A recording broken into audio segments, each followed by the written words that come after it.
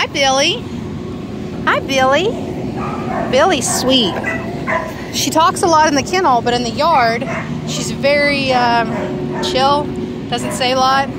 So we do have a bump on her chest. I think it looks like it just needs aspirated. Would you hold on so I can show it off? Right there. You get your fingers totally behind it.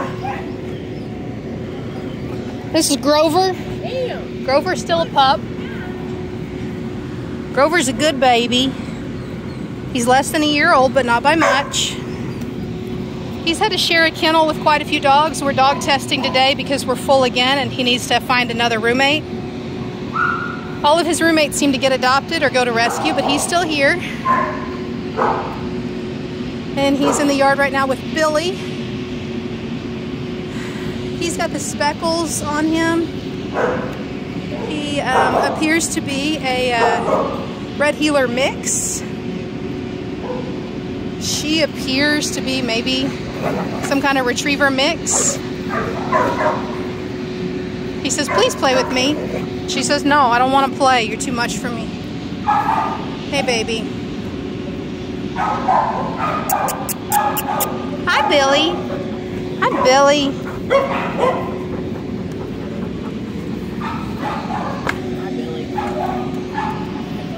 Hi, jumping up. Keep in mind the dogs are in the kennel for over 23 and a half hours a day. So they're only in the yard for a few minutes in the morning, a few minutes in the evening. Grover is um, still a pup. He's still pretty young. But uh, once he is in a home where he has more than 15 minutes a day exercise, we think he'll be able to burn off a lot of that energy. I don't need no help. Hi, Billie.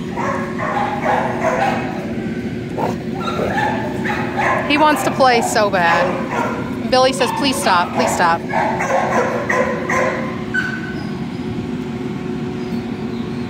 We're going to try to test Billie here in a few minutes with a different dog named Phil. Phil is really relaxed and see how they do together as well.